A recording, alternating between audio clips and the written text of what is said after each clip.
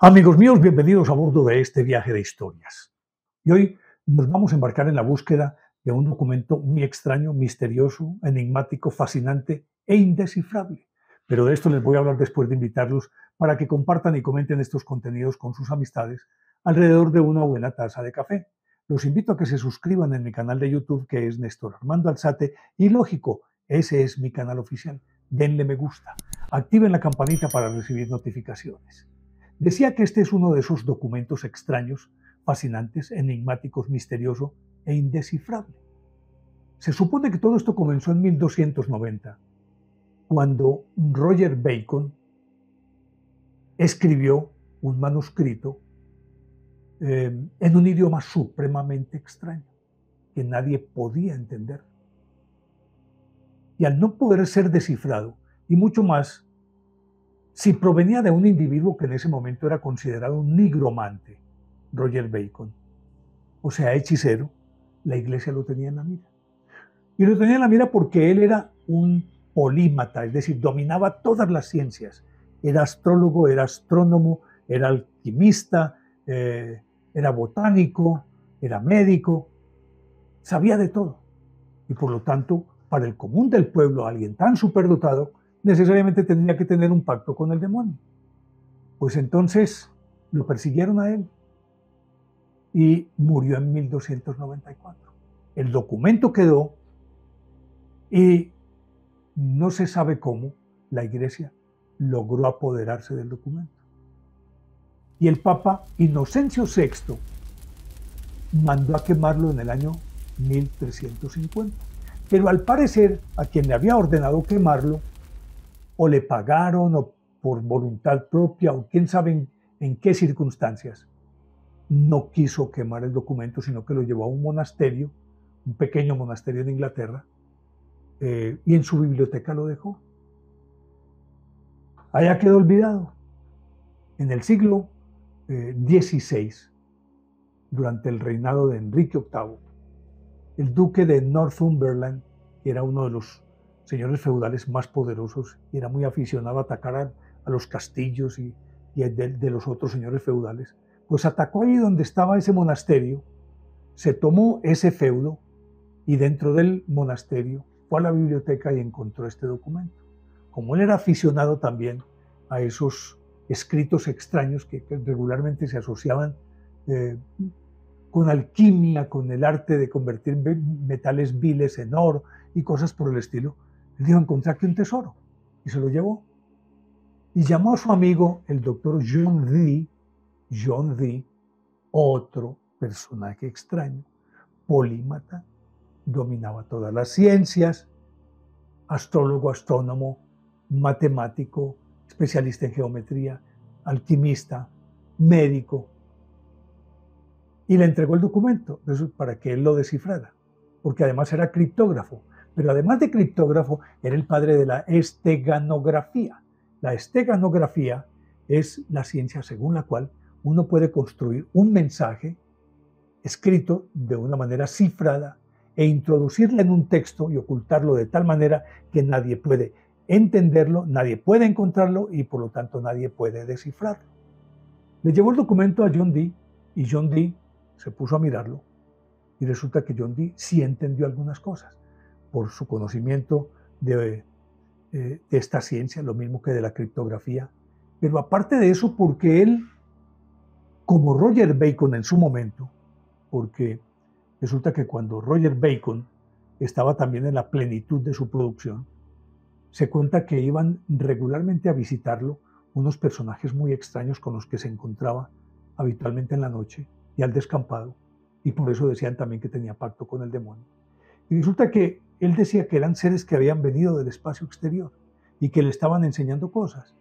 Y entonces ellos, al parecer, le, le, daban, eh, le transferían secretos, le contaban cosas, pero al mismo tiempo le enseñaron el idioma enoquiano. ¿Recuerdan ustedes que Enoch, yo hablé de él en esto recientemente, eh, fue el primer astronauta? Eh, trajeron de regreso sus guías, lo depositaron en la tierra y le dijeron, tienes un año para escribir todo lo que has visto y todo el conocimiento que hay en la tierra y todo, todo, absolutamente todo tienes que compilarlo en, en, varios libros. El mismo Enoch dice que escribió 360 libros. Que tanto sea cierto o no, bueno, pero los escribió en un lenguaje que ellos, los visitantes del espacio exterior, le habían enseñado. Indescifrable para cualquier ser humano. Entonces a ese idioma se le llamó el idioma enoquiano. Pues entonces, eh, Bacon había recibido ese conocimiento. Pero resulta que ahora John Dee, eh, a quien le había sido regalado este documento por parte del, duque de Northumberland, él en todos sus experimentos cuenta que lo abordaban también visitantes del espacio exterior y que una noche llegaron dos y le entregaron un trozo de antracita, un, eh, un material que se puede pulir perfectamente y convertir en espejo. De hecho, lo usaban como espejo en la antigüedad. Pues dos visitantes extraños le regalaron un trozo de antracita y le dijeron, en este espejo usted puede ver todo el universo, cómo es, en dónde está, lo que quiera ver lo puede ver ahí. Además, eh, a través de este espejo te puedes comunicar con los visitantes del espacio exterior y ellos le enseñaron el lenguaje enoquiano. Entonces, eh, Roger Bacon lo sabía, John Dee lo sabía. Por lo tanto, John Dee pudo eh, descifrar parte de lo que había hecho Roger Bacon con ese documento. Sin embargo, John Dee, cuando logró leer buena parte de este documento, quedó sobrecogido tenía pánico físico. Y pánico físico porque lo que estaba contenido allí era tan supremamente peligroso que hasta podría destruir la tierra, comentaba él en círculos íntimos. Por lo tanto, John Dee lo que hizo fue enrevesar más el texto para protegerlo de cualquiera que pudiera descifrarlo posteriormente y pudiera utilizar ese conocimiento, quién sabe, para destruir qué. Entonces, él lo enrevesó con ese lenguaje enoquiano que lo hizo mucho más intrincado. Como este hombre era tan importante y era un polímata, como le decía, la iglesia lo tenía en la mira, estábamos en la época de la Inquisición y por lo tanto le seguía los pasos. Y esto significaba también que no solamente la iglesia le seguía los pasos, sino que era en aquella época común, normal, que los fanáticos fueran casi que enviados por la misma Inquisición para atemorizar al individuo que era acusado. Y en una de esas, cuenta el hijo de John Dee que una turba fanática, airada, fue enviada por dos individuos muy extraños que vestían trajes oscuros. Lo enviaron a su casa. Afortunadamente para entonces, y en vista de lo que contenía este documento, de lo peligroso que era tenerlo y mucho más desentrañarlo, se lo había regalado a Rodolfo II, que era el, emperador del Sacro Imperio Romano Germánico, se lo regaló. Para entonces ya no lo tenía, pero él estaba en su casa y llegó esa turba, entró a su casa, quemó su biblioteca, que era una de las más completas y nutridas de Europa, y documentos sueltos de valor inestimable, y le quemaron todo y lo amenazaron de muerte. Él casi que tuvo que salir huyendo. Y se refugió por allá en otro lado y terminó sus días como rector de una oscura y pequeña universidad inglesa, por allá, lejos. John Dee. Entre tanto, después de haber tenido que hacer eso por esa turba, Rodolfo tenía el documento y se lo pasó a su criptógrafo con el que hacía las campañas militares era el que le escribía los mensajes cifrados para cuando estaban en batalla enviar el mensaje de un lado al otro del campo. Y que solamente que si interceptaban el, el mensajero no pudieran entender lo que estaba escrito ahí. Pues este se llamaba John Stepenks y resulta que él se puso a estudiar el documento y no entendió ni pío, ni pío. Y entonces Rodolfo dijo, ¿yo qué voy a hacer con esto? Lo archivaron por allá, se olvidó el documento. Nunca más se volvió a hablar de él. Cuando, por allá en 1912, apareció el documento y lo compró Wilfred Voynich, creo que a los descendientes de esta Casa Real, compró el documento. Como él era criptógrafo también, quiso tenerlo para descifrarlo. Se fue para Estados Unidos, lo había comprado en Frascati, en la ciudad de Frascati, en Italia. Se fue para Estados Unidos y él mismo, eh, respaldado y asesorado por otro grupo de especialistas, con la tecnología más avanzada que tenían en ese momento, intentaron descifrar el asunto, tampoco pudieron.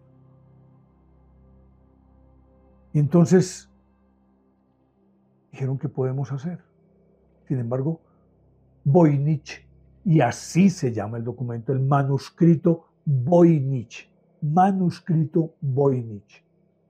Pues Voynich no quiso salir de él y siguió insistiendo y contrató en 1919 a William Newbold. William Newbold era el rector de la, de la Universidad de Pensilvania, lingüista, criptógrafo, eh, muy prestante y de lo más importante que hay en Estados Unidos. Y aceptó el reto, tomó el documento y empezó a, estudiarlo. y al parecer, Newbold eh, por, por circunstancias, no se sabe cómo, logró también empezar a desentrañar un poquitito de lo que había allí. No porque supiera el lenguaje enoquiano, sino tal vez porque conocía la mecánica de la estenografía y probablemente por ese lado pudo encontrar alguna cosita. Entre ellas, entre lo que pudo encontrar, es que, según eso que él descifró, decía en boca de Roger Bacon, que lo decía Roger Bacon, que ese documento no era escrito por él, sino que era un documento de la época del rey Salomón, un, documento de Salomón. Imagínense ustedes. Enoch vivió mil años antes de Salomón y Salomón vivió cuántos antes de, de la edad moderna. Y se habla de que ese documento pertenecía a Salomón. Es quizás lo único que logró él descubrir, porque si bien es cierto, él dijo que había encontrado muy buenas claves, no menos cierto es que comenzaron las intimidaciones. Aparecieron los susodichos hombres de negro, los que se le aparecieron a Roger Bacon, a John Dee y ahora a Newbold. Ahí estaban los hombres de negro. Entonces, él se sintió supremamente intimidado. Y e hizo lo mismo que habían hecho los otros. Cuando los abordaban, ellos decían, no, no, yo, no descubrí nada, yo no pude descifrar nada, eso es demasiado complicado, yo no tengo el método. Pues este Newbold dijo exactamente lo mismo. Y Newbold se apartó rápidamente del documento. Aunque creemos que él no tuvo la capacidad suficiente para poder llegar a algunas de las informaciones que habían ahí, porque de acuerdo con lo que decía John Dee, esos textos eran mortales, podían acabar con el planeta Tierra. Lo cierto es que Newbold entonces murió en 1926 negando que hubiera podido encontrar la fórmula para descifrar todo ese texto el manuscrito Voynich. Murió en 1926, también acosado por hombres de negro. Entre tanto, la familia Voynich, que eran los dueños de este documento, seguían buscando quién podría ayudarles, ya que había desaparecido su amigo. Pues Wilfred Voynich murió en 1930. Y sus descendientes quedaron con ese empastelado. ¿Qué hacemos con esto? Deshagámonos de eso, vendámoslo. Y apareció un comprador llamado Hans Kraus, que era otro librero también de Estados Unidos. Compró el documento, se lo llevó y buscó a los mejores en ese campo. Y se encontró a William Friedman, que era en principio el criptógrafo más importante del gobierno de los Estados Unidos en tiempos de guerra. Había estado en la Primera Guerra Mundial y en la Segunda Guerra Mundial. Ya un hombre de edad avanzada, pero con un conocimiento increíble, para que les ayudara a descifrar esto. Pues Friedman tampoco fue capaz. No fue capaz. No dio pie con bola.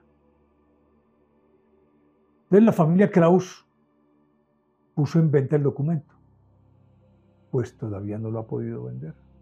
El documento está guardado en alguna parte, en una bóveda, en algún banco en Estados Unidos, y pertenece a la familia Krauss, que pretende sacarle una muy buena cantidad de dinero. Pero la pregunta que uno se hace aquí es, ¿qué es lo que contiene ese libro que a todo el mundo le produce pánico? Y que sin embargo, y sin embargo, sigue rodando de mano en mano y sin embargo nadie ha podido descifrar qué es lo que dice, a excepción de aquellos que tímidamente consiguieron algo, en principio Bacon y luego John Dee.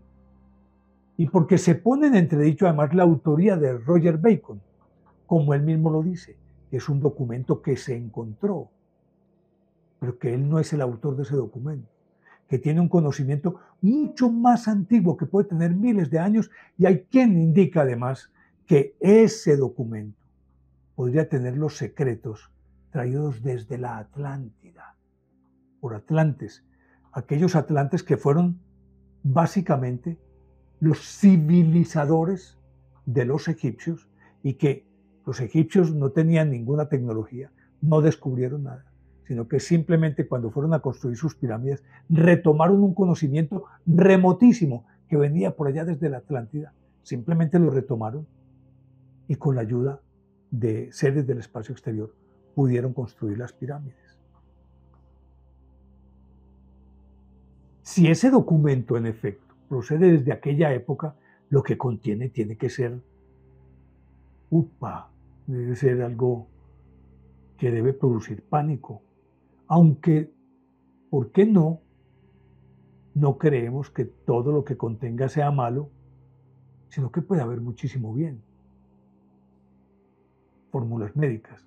Porque resulta que este documento, y como les decía, está en un volumen de 25 centímetros por, 35, por 32 centímetros, 204 páginas, 28 páginas faltan de esas 204. Eh,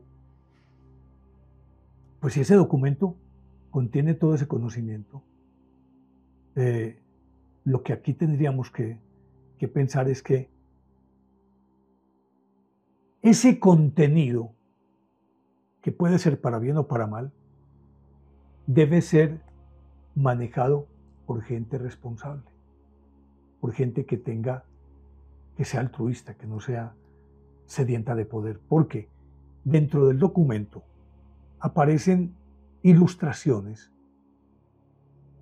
y hay más o menos unas ilustraciones de unas 400 o más plantas que no son oriundas del planeta Tierra. No se parecen a ninguna de las plantas que tenemos en el planeta Tierra. Pero además de esas plantas, el documento contiene una cantidad de ilustraciones de figuras masculinas y femeninas, cuyos biotipos no se compaginan con el nuestro como, como humanos mortales que somos. No, tienen aspecto humano, tienen eh, eh, conformación de humanos, pero, pero son distintas las facciones y demás. Por lo tanto, según eso, ese conocimiento tiene que venir del espacio exterior. Pero de estas más de 400 plantas, se dice que cuántas de ellas pueden ser productoras de un veneno letal o que al ser procesadas pueden generar un gas que envuelva el planeta y acabe. Estoy hablando de una especulación mayor, claro. Pero también cuántas de esas 400 plantas podrían tener los remedios que necesita la humanidad, o porque no la panacea universal, aquel remedio universal que cura todo, podría estar ahí también. ¿Y quiénes son aquellos, aquellas figuras que aparecen ahí eh, como ilustraciones en este, en este libro del manuscrito de Voynich. Y entre esas plantas hay una que les llamó mucho la atención porque es un hongo de varios colores muy bonito, muy brillante. Y al verlo, que forma como, una, como si fuera una pequeña nube, inmediatamente se ha asociado con la explosión de la bomba atómica de Hiroshima. Que lo que en principio se ve como una planta no es más que la explosión atómica y el hongo derivado de esa explosión atómica que se puede ver ahí en el manuscrito Voynich. Si, si uno junta todos esos elementos, tiene que llegar a la conclusión real de que es un libro no solamente extraño, sino que debe tener cosas muy terribles, muy terribles, supremamente terribles, como debe contener cosas muy buenas. Pero en esto, aquello que aparentemente es bueno puede resultar malo y viceversa. Es como tener un machete. Uno con un machete puede cortar cabezas, pero también desbroza la hierba. Depende del uso que se le dé, como depende del uso que se le dé a, a, esta, a lo que uno encuentra en Internet. Exactamente lo mismo. Por lo tanto, la cuestión no es que esté, la cuestión es que no vaya a caer en las manos equivocadas. Y la otra pregunta que se plantean es, si ese documento es de esas características, ¿por qué no ha sido destruido? Si se sabe que existe y unos cuantos elegidos saben en dónde está, ¿por qué no lo destruyen si es tan peligroso? Y aquí a uno se le ocurre una respuesta que obviamente es especulativa. Pues en principio porque todo ese conocimiento o todo lo que hay ahí, nadie ha podido descifrarlo. No hay a la vista nadie que pueda descifrarlo, porque es un lenguaje aparentemente extraterrestre. No hay quien lo pueda entender. Por lo tanto, puede ser lo que sea, pero si no hay quien lo entienda y no hay quien lo, lo, lo descifre, entonces no es peligroso. Y por el otro lado es, ¿qué tanto eh, vale la pena continuar esa lucha para descifrar ese documento por todo lo que puede significar para la humanidad? Entonces, no se puede destruir porque se guarda la secreta esperanza de que llegue alguien por fin y descifre todo ese contenido. Y por otro, pues ¿para qué destruirlo? aparentemente es inofensivo porque nadie lo entiende. Quedan todas esas preguntas. Pero el documento Voynich existe, está en Estados Unidos. Tan existe como esa piedra de antracita de John Dee, del espejo, con el cual se podía comunicar con distintas partes del universo y con gente del espacio exterior, está en el Museo Británico. Ese está en el Museo Británico. El Voynich, si no se sabe en dónde está. Se sabe que está en una bóveda, supuestamente en un banco muy importante pero nadie tiene acceso a eso. Ahí está. ¿Quién puede descifrarlo? ¿Qué es el, ¿Cuál es el mensaje que nos quiere enviar con, con, este, con este manuscrito Voynich? Vaya uno a saberlo. Pues bien, hasta aquí esta historia. Espero que les haya gustado. De ser así, denle me gusta, activen la campanita para recibir notificaciones. Espero sus comentarios y les dejo la inquietud de siempre. ¿Les parece lógica o ilógica esta historia. Ustedes deciden. Y los espero en el próximo viaje de historias que con seguridad va a ser fascinante. Chao.